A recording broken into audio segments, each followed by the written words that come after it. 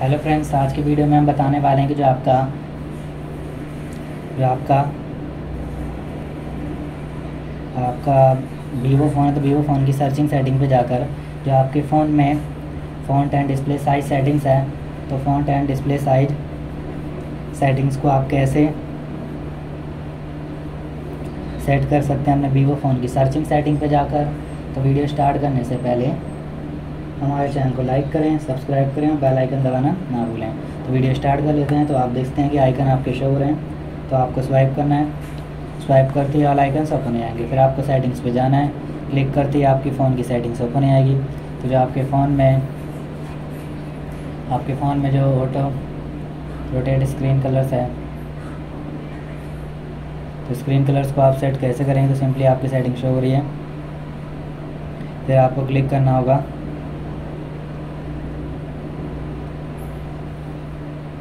Display and brightness display brightness settings open आएगी फिर यहाँ से font and display size settings को आप सेट कर सकते हैं। जैसे आपकी सेटिंग शो हो रही है इसमें फॉन्ट साइज़ को आप इस तरीके से इंक्रीज एंड डिस्क्रीज कर सकते हैं और किसी भी साइज़ में आप सेट कर पाएँगे। फिर इसके हमारे पास ऑप्शन आता है डिस्प्ले साइज़ डिस्प्ले साइज़ को भी आप यहाँ से इंक्रीज डिस्क्रीज करके सेट कर सकते हैं। लार्ज करना चाहें तो लार्ज भी कर सकते हैं। फिर बोल्ड टेक्स्ट आ गया, जो टेक्स्ट होते हैं आपके बोर्ड इसको आप टेक्स्ट को बोल्ड कर सकते हैं और अनबोल्ड भी कर सकते हैं, जो आपके टेक्स्ट अनबोल्ड हो जाते हैं।